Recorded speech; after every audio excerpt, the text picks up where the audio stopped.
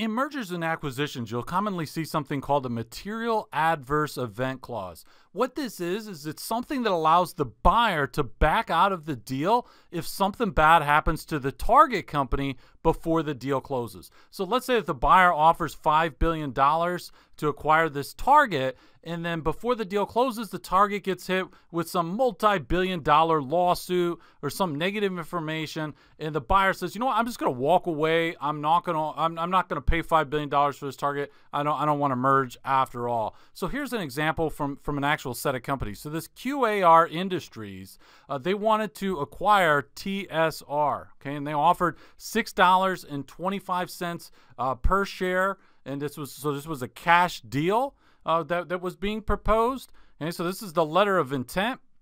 And then I, I, went and took a look at the term sheet, which, by the way, I'll, I'll, have a link to this in the description section of this video.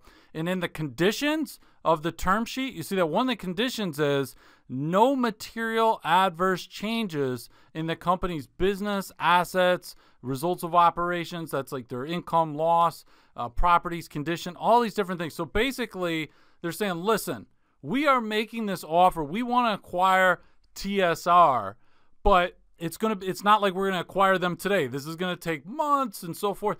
And if something bad happens, if they post some huge loss or they get hit with some lawsuit or some some information comes to light, something adverse comes to light, some information that's bad, we have the opportunity to say, you know what, we're not going to pay 625 a share. We're going to back out of the deal. And again, I'll put the link uh, to this in, in the description section if you want to look at the term sheet and check this out more.